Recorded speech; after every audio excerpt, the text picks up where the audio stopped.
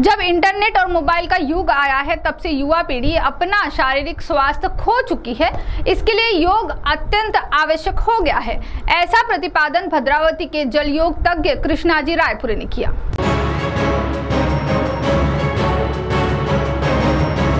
जब से इंटरनेट और मोबाइल का आविष्कार इस दुनिया में हुआ है, तब से युवा पीढ़ियों को मैदानी खेलों से लगाव कम सा हो गया है, जिसके कारण युवा पीढ़ी दिन ब दिन शारीरिक रूप से कमज़ोर नज़र आ रही है।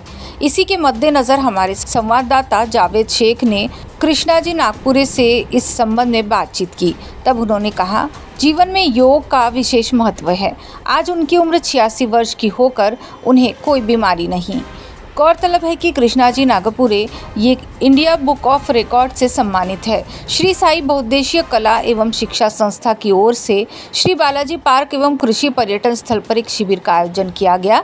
जिसमें जल योग ताग्य कृष्णा जी नागपुरी इन्होंने अपने कर्तव्य दिखाए। साथ ही इस शिविर में शामिल प्रशिक्षणार्थियों को उन्होंने मार्गदर्शन भी किया।